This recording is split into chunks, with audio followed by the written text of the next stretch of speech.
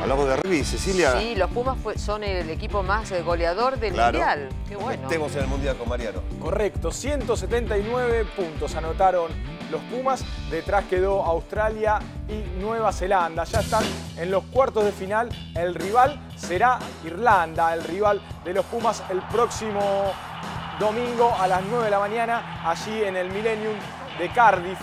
Allí los Pumas se enfrentarán, decíamos, a Irlanda. El historial entre ambas selecciones, bueno, se enfrentaron 20 veces.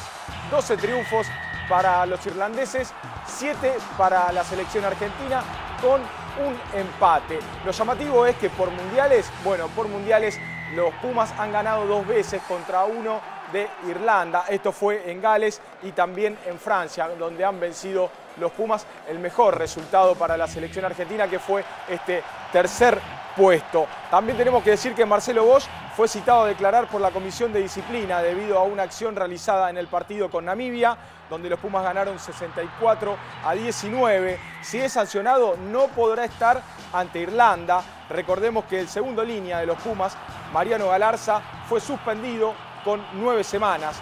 Por el lado de Irlanda, fue citado para mañana también Sino Bryan por una trompada al estómago del francés Pascual Papé, hasta el momento Irlanda presentaría tres bajas por lesión. El resto de los cruces los animarán Sudáfrica-Gales, Nueva Zelanda-Francia y Australia-Escocia.